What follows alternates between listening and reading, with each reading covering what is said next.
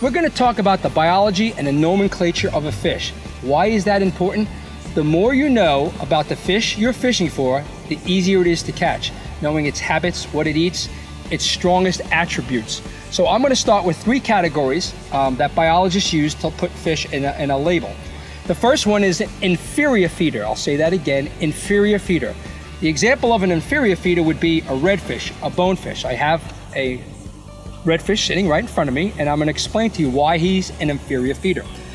The lower part of the redfish's jaw and mouth is inferior to the top, top part. The redfish's number one attribute is to smell and get his head down into oyster bars or in grass flats or wherever he's at and root around. You've heard the word tailing redfish. The reason he's doing that is he's out there tailing around, rooting around down in oysters or in mud or in grass, and he's looking for crabs, shrimp, and bait fish. His tail is up in the air. He's using his nose to find those things. His strongest attribute is the is smell. So if you know you're fishing for an inferior feeder, it's really important to know that if his head is down on the bottom, you might want to get a bait or keep your baits down on the bottom where he's fishing. A couple of other things that you want to know about a redfish is obviously he has a false eye.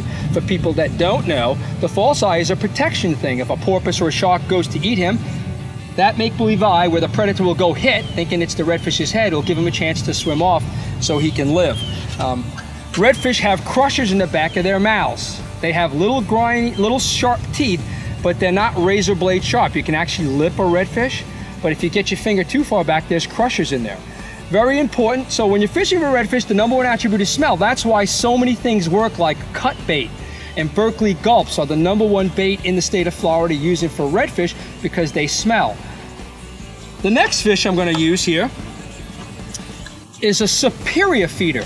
I'll say that again, a superior feeder. That would be like a snook, a tarpon, where the bottom lip is superior to the top. The redfish, it's the complete opposite. With a snook, you'll see this big, dark, pronounced lateral line. His number one attribute is that lateral line to feel like a vibration and detect things from a, from a long distance away. When a snook takes a bait, he usually takes the bait with the bait, the air, and the water. That's when you hear that pop, of a sucking action where he'll suck in the whole bait, the air, and the water at one time. Most of the time when you're fishing for snook, you're not going to be fishing on the bottom. It doesn't mean you can't catch a snook on the bottom. You can. But most of the time, they're going to be in the middle water column to the top. They're a superior feeder. Now I'm going to go to the last feeder, which is called the terminal feeder. So, so far we covered an inferior feeder, a superior feeder, and now a terminal feeder, which is a mackerel, a Spanish mackerel.